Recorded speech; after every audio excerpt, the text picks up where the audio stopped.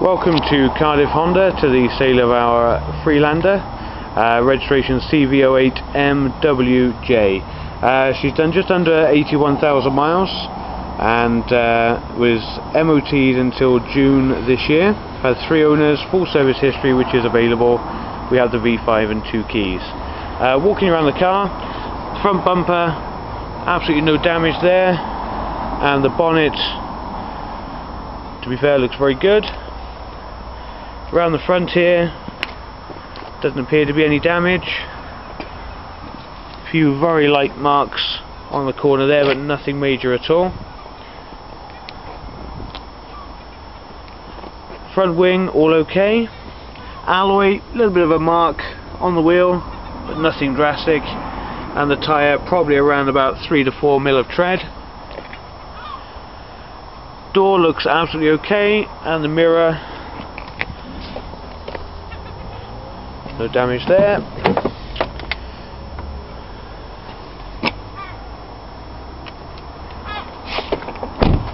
Privacy glass on the back. Back door doesn't appear to have any damage. Just a couple of minor, minor marks here. Nothing major. Rubber mats in the car. Rear alloy no damage.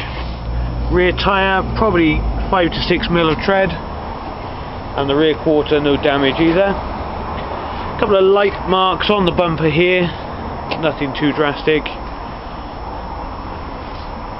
Tow bar with twin electrics, untested. Rear parking sensors. Inside the boot you've got rubber mat,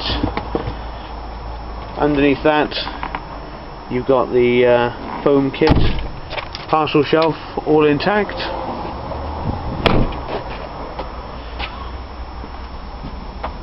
All looks okay on this side of the bumper. A little bit of a scratch here by the petrol cap nothing major. Rear alloy absolutely fine. And the tyre a good 5 to 6 mil little mark on the door edge just there.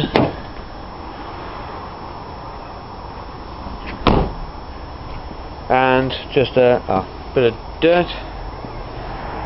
Door edges just need a little bit of touching up.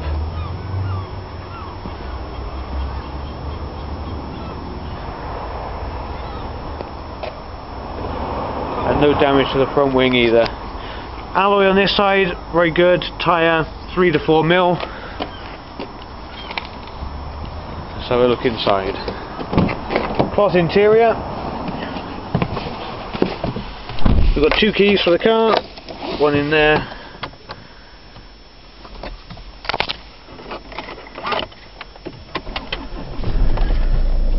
Starts absolutely fine.